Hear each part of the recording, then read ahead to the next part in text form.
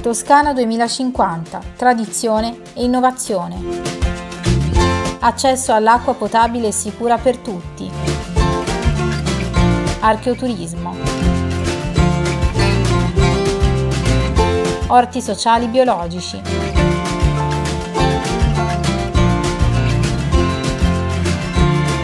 Turismo lento ed ecosostenibile.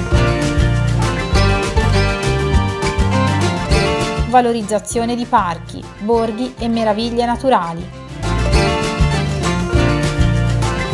Astroturismo. Non c'è futuro senza il rispetto degli altri e dell'ambiente.